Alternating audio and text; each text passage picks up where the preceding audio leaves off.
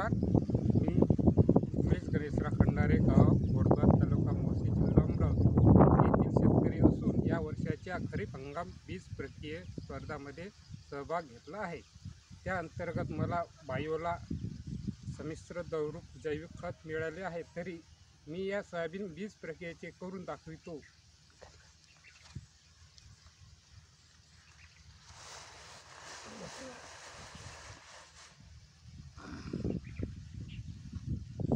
पेरणीपूर्वी एक तास अगोदर एक एक किलो सोयाबीनला पंचवीस मिली बायला लावावी व हलक्या हाताने तोडावे व सावलीत सोपू घालावे व बि बियाणे पेरणीसाठी घ्यावे. याचे फायदे बियाणे उगवले चांगले होते उगवून उगवून चांगले होते. पांढऱ्या मुळाची वाढ होते. रासायनिक खतात खताचा दहा टक्के खर्च कमी होतो. जमिनीतील खते पिकाला एन पी के उपलब्ध होते.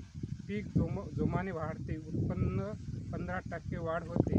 तरी सर्वांनी बायोला संमिश्र जैविक खताद्वारे बीज प्रक्रिया करून पेरणी करावी. धन्यवाद.